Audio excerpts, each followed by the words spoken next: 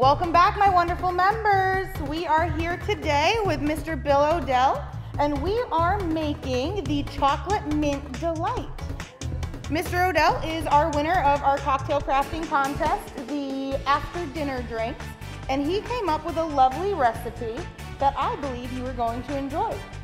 I'm going to throw it over to you, Bill, and take it away. Thank you, thank you, Landy.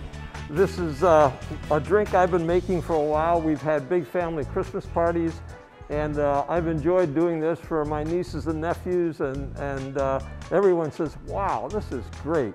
So it's a very simple drink. It's easy to make, and something that I think uh, you, everyone will enjoy. It's uh, equal parts of Bailey's,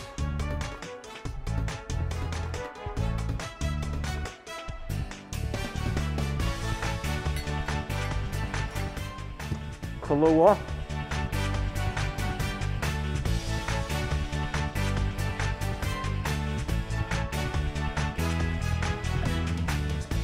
And peppermint schnapps.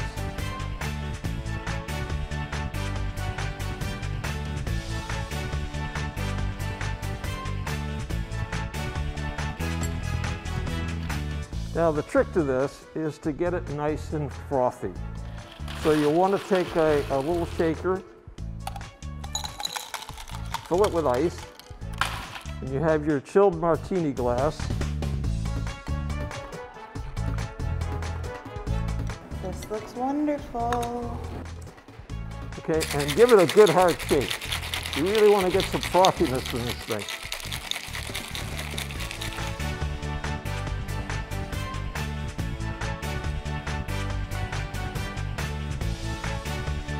As uh, someone once said, wow, it's like a chocolate milkshake.